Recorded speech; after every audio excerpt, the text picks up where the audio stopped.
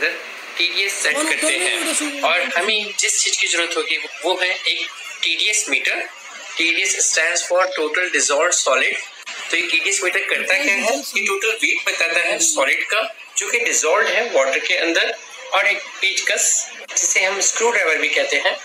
हम सबसे पहले एक एम्प्टी ग्लास के अंदर आर वाटर फिल कर लेंगे जिसका हमें टीडीएस पता लगाना है। इस टीडीएस मीटर की मदद से इसका टीडीएस चेक करेंगे। तो ये रहा हमारा वाटर जो हमने कैंट प्योरीफायर में से लिया है। और अब हम इसे टीडीएस मीटर की मदद से इसका टीडीएस चेक करेंगे। हम पहले इसे ऑन करेंगे और इसे हाफ़ टिप करेंगे। बस इतना टिप करेंगे। और आप इसकी रीडिंग यहाँ पर मेजर कर सकते हैं। 48 ppm आप यहाँ इसे होल्ड कर सकते हैं।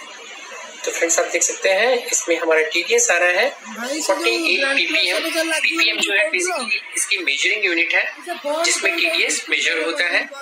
ppm stands for parts per million और इसे हम मिलीग्राम्स पर लीटर भी कहते हैं। तो चाहे पीपीएम कहें या मिलीग्राम्स पर लीटर कहें बात एक ही है। तो देखा जाए तो ये कम आ रहा है। हमारा जो पीपीएम है अराउंड 80 टू 90 आना चाहिए। तो दैट मीन्स जो इसका टेस्ट है वो बिल्कुल परफेक्ट नहीं है और जो क्वालिटी है इसकी, वो बिल्कुल परफेक्ट नहीं है। उसे अब हम सेट करेंगे जिससे ये 80 टू 90 आ जाए। तो आइए अब हम इसे सेट करते हैं। बट उससे पहले हमें इस कंटेनर के अंदर जो वाटर फिल्ड है, उसे बाहर निकालना होगा ताकि इसका जो प्रीवियस टीडीएस वाला जो वाटर है, वो बाहर आ जाए और